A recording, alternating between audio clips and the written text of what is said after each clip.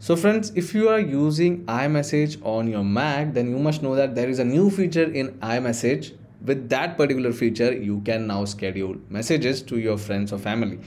Now, how to schedule messages? I'm going to guide you through each and every step. Before that, if you are new to the channel, don't forget to subscribe. Let's start the video. So the very first thing you have to do is open messages application in your Mac and just create a new uh, message over here by selecting this particular icon once you do that, select the particular contact to whom you want to send the message. Now, once you select that contact, just go and uh, type whatever message you want to. Now, once you type your message before sending it, you need to make sure to select this plus icon and select send later option. Now, once you select send later, uh, you will uh, get an option to choose date and time. So you can schedule message with the help of this. So currently, if you tap on the date option, you can select whichever date you want. So I'm going to select uh, you know 2nd of october. Today is 1st of october.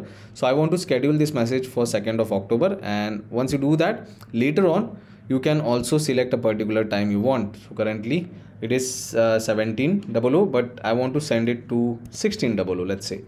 So yeah. After uh, you know selecting each and everything you can just simply press return button or enter button. And now the message is scheduled now till the message is sent it will be like this uh, you know in a dotted form.